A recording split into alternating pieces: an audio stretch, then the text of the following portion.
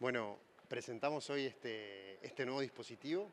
que se trata de una camioneta equipada con equipos, con información, eh, que el objetivo es poder llegar con las propuestas del Instituto de la Juventud y con el apoyo del Parlamento también para poder acercar la casa de todos, la casa de la democracia a los jóvenes de todo el país, con el objetivo de poder llegar a localidades menores de 20.000 habitantes del interior del país y también a aquellos barrios más alejados de la capital y del área metropolitana de Montevideo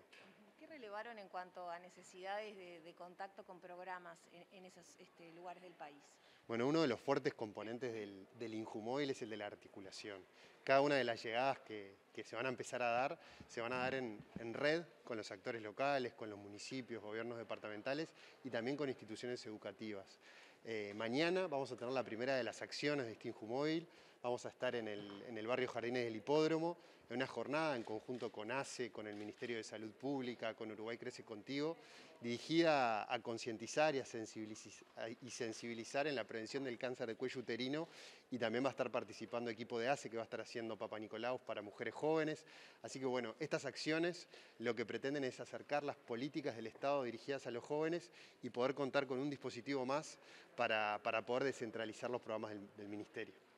por ejemplo, los jóvenes ya se puedan inscribir en programas a través de, las acciones del Injumóvil o solamente conectarlos para que luego tramiten, por ejemplo? La idea del, del Injumóvil es poder informar, poder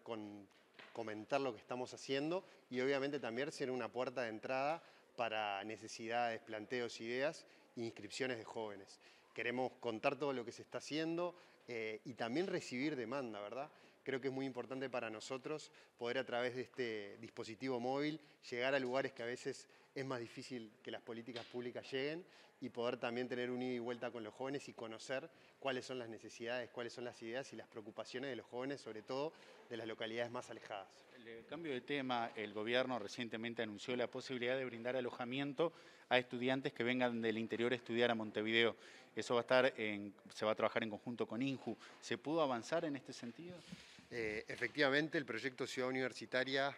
eh, Ciudad Universitaria Jorge Larrañaga, que fue un proyecto que comenzamos a trabajar eh, en el mes de marzo. se encuentra todavía en la fase de, la licitación, la, comisión administradora está haciendo los, relevamientos finales y en los próximos días seguramente podamos dar algunos anuncios, pero seguimos con el mismo cronograma que nos marcamos, que, que esta ciudad universitaria con 180 cupos para jóvenes del interior que se vienen a estudiar a Montevideo esté operativa en el segundo semestre de este año y, bueno, y pueda aumentar la capacidad de becas y la capacidad de apoyos económicos que hay dirigidos a jóvenes del interior que por la realidad de que la oferta educativa terciaria del país se concentra en la capital, se tienen que venir cada año a Montevideo y queremos desde el Ministerio de Desarrollo Social y en particular desde el INJU apoyarlos en esta etapa.